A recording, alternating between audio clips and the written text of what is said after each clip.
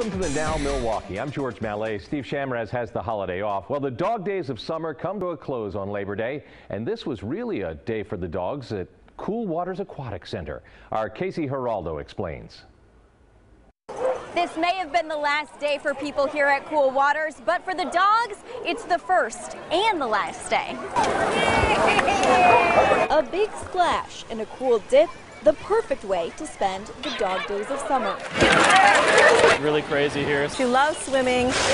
From Memorial Day until Labor Day, this pool is people only. Dogs don't really get this opportunity to be in this huge pool with all these other dogs around, so it's really fun. So this day is one dogs and their owners look forward to all year.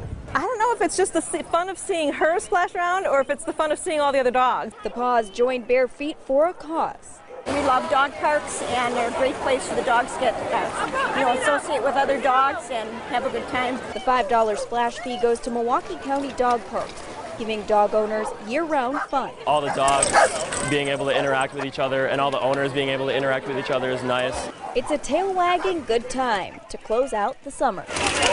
Once all the dogs have cleared out, they're cleaning out the pools and closing down for the season. In West Allis, Casey Geraldo for the Now Milwaukee.